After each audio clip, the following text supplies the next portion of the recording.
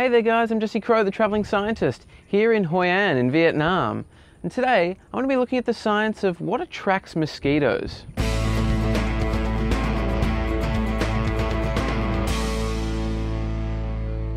Mosquitoes are the deadliest animal in the world. They kill over a million people every year. So maybe try not getting bitten by them?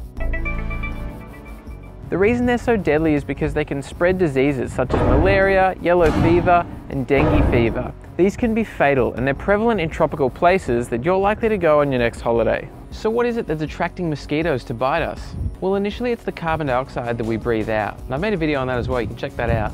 But that attracts mosquitoes because they sense it as a source of blood, which they need for their nutrition.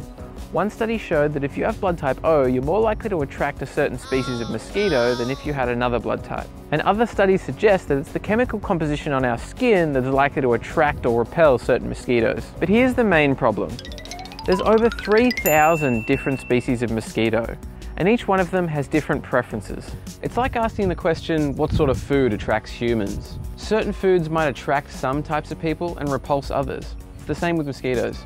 So all of these studies about what attracts and repels mosquitoes is only useful if you actually know the exact species of mosquito you're trying to avoid. Myth busting. It's rumored that eating things like garlic or vitamin B will reduce your likelihood of being bitten, but studies have shown that ingestion of these substances has no effect on mosquito attraction. So,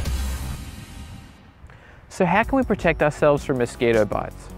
Well, a study published in the New England Journal of Medicine compared a variety of mosquito repellents and showed, not surprisingly, that products containing DEET or diethyltoluamide were effective at repelling mosquitoes for several hours.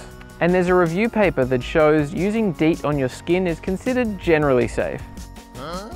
If you wanted to go for a more natural product, Soybean oil-based repellents were actually shown to repel mosquitoes for over an hour. Eucalyptus oil and citronella oil were shown to be effective for about 20 minutes, which isn't so great. And mosquito repelling wristbands, they were effective for, get this, 15 seconds.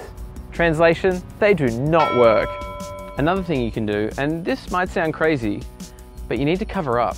We're talking about the deadliest insect in the world and it wants to drink your blood. If you're getting around in a wife beater, shorts and flip-flops... Oh, jeez, it's hot. You're just a bloody dickhead, aren't you? Bloody idiot, mate. Anyway, that's all for today, guys. Thanks so much for watching. If you like this video, click the like button below and let me know how you avoid mosquitoes in the comment section below. Finally, subscribe for more traveling science every week. I'll see you guys next time. Cheers.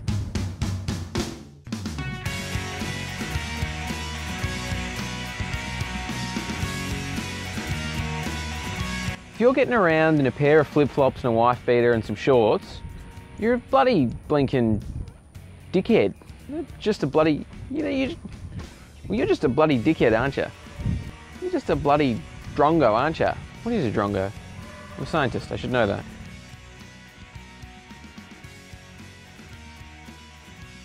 Better get another beer, eh?